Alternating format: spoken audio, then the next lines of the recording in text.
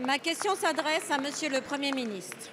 Monsieur le Premier ministre, depuis la présentation de l'avant-projet de loi travail, la mobilisation de la société, de la jeunesse et des organisations syndicales n'a pas affaibli. Le 9 mars dernier, 500 000 citoyens manifestaient pour exprimer leur opposition à votre réforme. Face au chômage, les solutions que vous proposez sont celles de la droite européenne. Mais nulle part en Europe, la dérégulation n'a fonctionné. Vous nous proposez la précarité pour résoudre le chômage, mais nous savons qu'avec cette réforme, nous aurons et la précarité et le chômage. Le 31 mars, malgré les faibles concessions sur le projet de loi, nous étions à nouveau dans la rue, sous la pluie, parmi plus d'un million de Françaises et de Français, soit deux fois plus que lors de la première journée de mobilisation. Et depuis le 31 mars, des milliers de citoyens anonymes se réunissent à Paris et dans les grandes villes de France autour du mouvement Nuit debout. Ce mouvement s'est formé dans la contestation à la réforme du droit du travail, après un appel de plusieurs collectifs citoyens, rejoints par d'autres mouvements, comme la Fédération nationale d'agriculture biologique. Nuit debout, c'est la contestation de la précarité qu'organise la loi travail, mais c'est bien au-delà de ça, l'aspiration à une nouvelle forme de démocratie et de société. La ministre du Travail disait récemment rester attentive à toutes les interpellations, y compris celles de la place de la République. Mais les mots ont un sens, Monsieur le Premier ministre. Il ne suffit pas de le dire, il faut le faire. Et je nous appelle tous ici, parlementaires, à entendre ceux qui se mobilisent place de la République et ailleurs.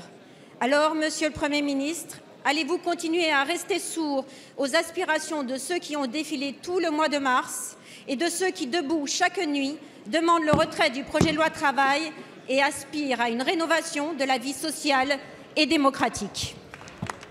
Merci. La parole est à Madame Myriam El Khomri, ministre du Travail, de l'Emploi, de la Formation professionnelle et du Dialogue social. Merci, Monsieur le Président, Mesdames et Messieurs les députés, Madame la députée Eva Sass. En effet, je suis et je reste attentive à toutes les interpellations, d'où qu'elles viennent. Qu'elles viennent de la rue, qu'elles viennent des organisations jeunesse, mais également aussi de syndicats qui représentent aussi une majorité de salariés et qui ont souligné certaines de ces avancées du projet de loi. Vous avez parlé de l'avant-projet de loi. Parlons de celui que j'ai présenté en Conseil des ministres. Il y a eu des avancées considérables et elles ont été soulignées. Nous rencontrons dès demain avec Najat Vallaud-Belkacem, avec Patrick Hanner, l'ensemble des organisations jeunesse. Dans un pays où nous sommes confrontés à un chômage de masse depuis 30 ans, qu'il y ait des inquiétudes, c'est légitime.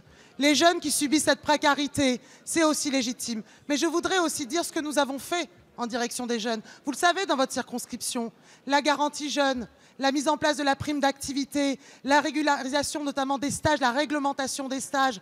Voici l'augmentation des bourses. Voici aussi ce que nous avons fait. Et je crois essentiel que dans le débat que nous ayons, nous soyons en capacité aussi de le dire.